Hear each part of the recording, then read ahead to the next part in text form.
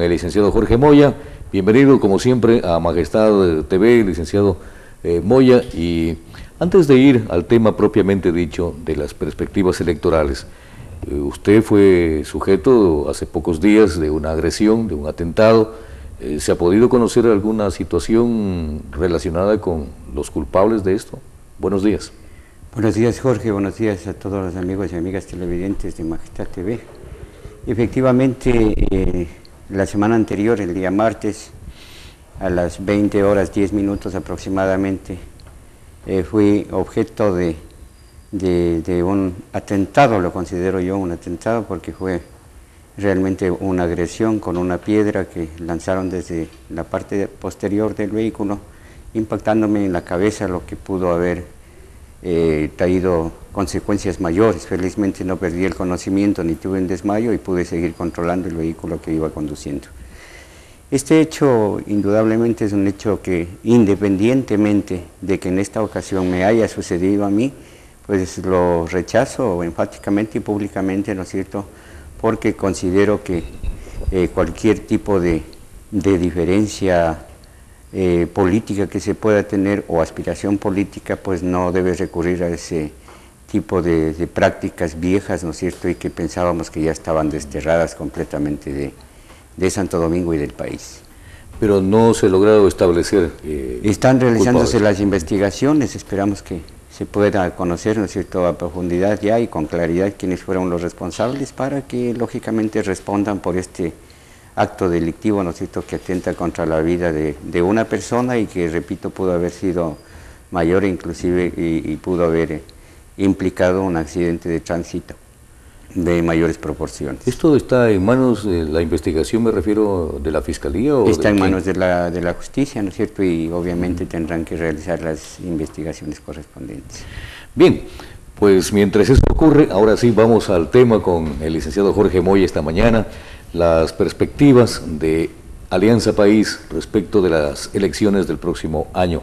Como decía, estamos a menos de siete meses y obviamente o aparentemente habría facilidades de que Alianza País repita también en estas elecciones seccionales un triunfo contundente, pero vemos que al menos eso se percibe, de que todavía hay muchos resquicios, eh, resquebrajamientos internos en el movimiento Alianza País, precisamente por ocupar los primeros lugares en lo que tiene que ver con candidaturas a diferentes dignidades.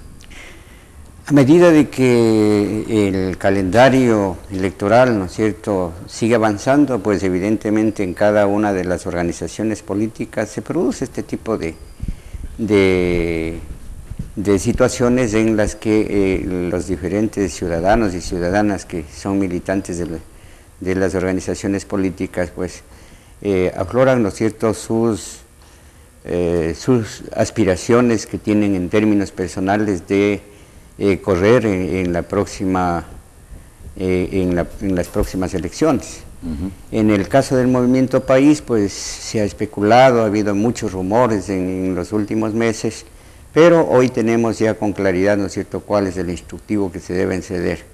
Yo hago esta aclaración de manera pública en el sentido de que no existen todavía candidatos, ¿no es cierto?, a ninguna de las dignidades para las próximas elecciones. Será el proceso que determina el instructivo, el reglamento del Movimiento Alianza País el que nos permita ir seleccionando a las compañeras y compañeros que serán, que nos representarán en el próximo proceso electoral. ¿Pero es el instructivo que tienen ustedes o es la ley el que dispone que se hagan, por ejemplo, las elecciones primarias para elegir a los candidatos? Primero tenemos que, tenemos que reconocer, ¿no es cierto?, que el Código de la Democracia establece o las elecciones primarias o en su, o en su defecto, ¿no es cierto?, las convenciones o asambleas parroquiales, provinciales y cantonales para escogitar, ¿no es cierto?, a quienes eh, representen a cada una de las organizaciones políticas en el próximo proceso electoral. De manera que nosotros, cumpliendo con lo que dice el Código de la Democracia, eh, se ha establecido, ¿no es cierto?, que serán estas asambleas parroquiales, cantonales y provinciales, o a su vez llamadas convenciones, las que nos permitan recoger, repito, nombres de compañeras y compañeros que nos vayan a representar para las diferentes candidaturas, esto es para juntas parroquiales, para las concejalías para la alcaldía, para las alcaldías, para la prefectura, en el caso de Santo Domingo, y, se seguirá el proceso que está establecido en el, en el instructivo, a fin de que al final será la Convención Nacional, en la Convención Nacional será, ¿no es cierto?, donde se den a conocer de manera oficial quiénes son los candidatos y candidatas que nos representarán en este próximo proceso electoral. ¿Ese instructivo al que hace usted en referencia también contempla eh, reelecciones, por ejemplo?